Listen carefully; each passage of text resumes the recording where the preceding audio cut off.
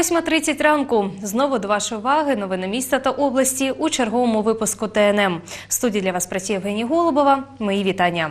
Миколаївський міжнародний аеропорт має запрацювати вже у травні 2018 року.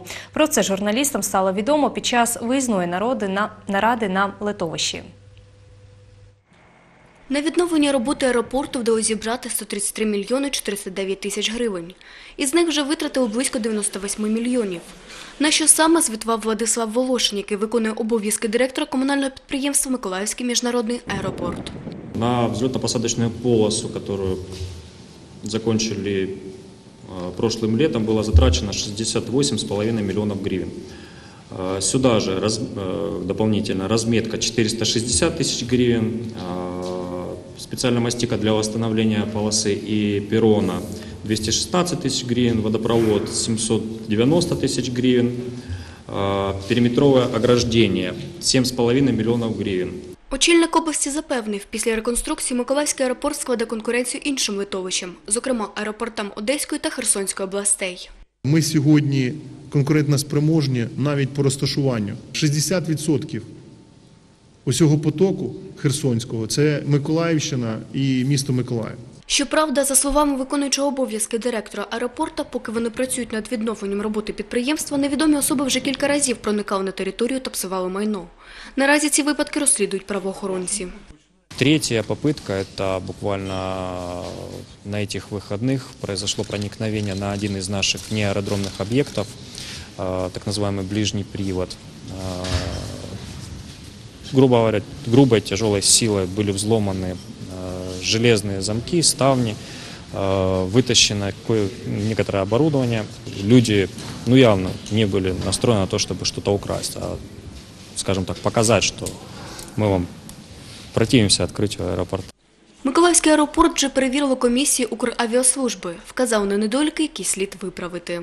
Что касается первой комиссии службы авиационной безопасности, там все недостатки уже на данный день устранены, а, то бишь мы на сегодняшний день имеем полноценную службу авиационной безопасности. А, Что касается второй комиссии, это комиссия по аварийно-спасательному противопожарному обеспечению полетов. А, Основными недостатками является то, что у нас не до конца укомплектован штат, к сожалению, не можем пока набрать работников, и плюс устаревшая техника. Необхідних фахівців шукають по всій Україні, адже для роботи аеропорту потрібно 180 співробітників. У Миколаєві таких спеціалістів в такій кількості немає. Втім, відкрити аеропорт планують вже у травні 2018 року. Світлана Кльосова, Олександр Пан, телевізійні новини Миколаївщини. Миколаївським спортсменам Іллі Кваші Олегу Колоді, Ользі Харлан та їх тренерам призначено президентські стипендії. Про це йдеться у відповідному указі президента України Петра Порошенка. Так, бронзові призери чемпіонату світу 2017 року зі стрибків у воду Ілля Кваша та Олег Колодій отримуватимуть по 7 тисяч гривень стипендії. А чемпіонка світу 2017 року з фехтування на шаблях Ольга Харлан 12 тисяч гривень. Документ був підписаний вчора, 23 січня, і опублікований на сайті глави держави.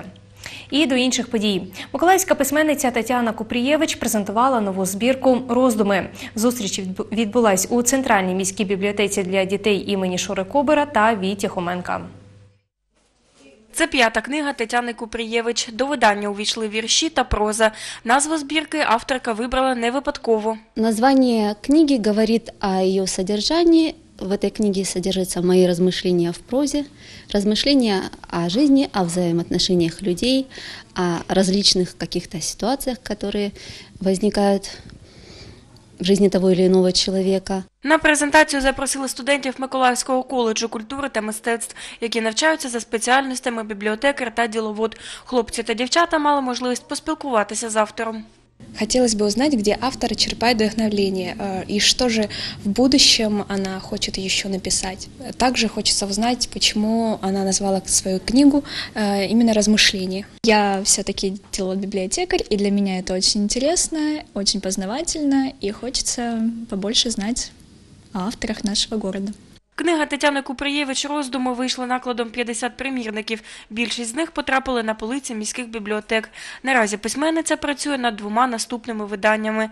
Наталя Забазнова, Андрій Заворотній, телевізійні новини Миколаївщини. На цьому ранковий блок телевізійних новин Миколаївщини завершено. Зустрінемось вже по обід о 13.30. Обов'язково дочекайтесь. Новин буде набагато більше.